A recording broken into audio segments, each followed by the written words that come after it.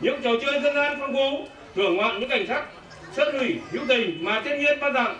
thưởng thức các hương vị đặc sản của địa phương. Duy công hòa lễ hội phết tiền quan năm 2007 lên khai mạc lễ hội phết năm 2000 biểu hiện công xúc bất tình lượng nước và giữ nước như...